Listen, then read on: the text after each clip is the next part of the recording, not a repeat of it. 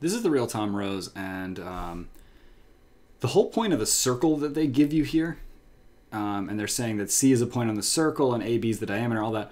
That is just the whole point of that is there's a rule that you need to have memorized, which says that if you have a triangle inscribed in a circle where one side is the diameter, then the opposite angle is a right angle.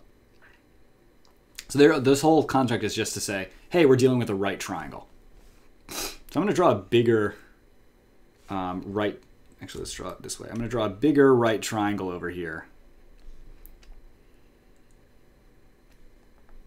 Right, and I'll put two angles in it, x and y, which we can operate on. They're saying um, sine of x is one third. So when they tell you the, the sine of an angle, they're giving you the ratio of the sides. We could use one third. I'm just going to say one and three, which has the same ratio.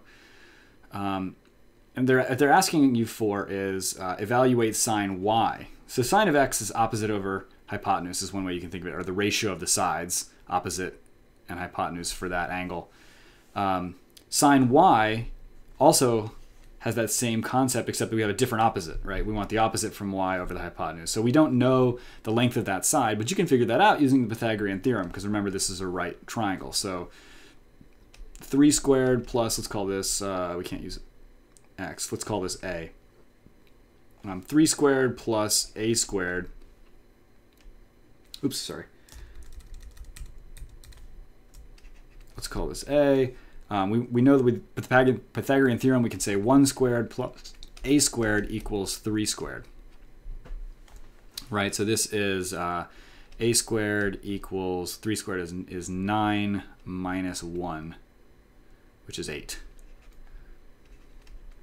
So a, therefore, equals, um, what is that for? 2 root 2? So now they we want what sine y? Sine y is opposite, which is a over 3, which is 2 root 2 over 3. That's the ratio. And we're looking for an answer choice that says that, and we've got one right there.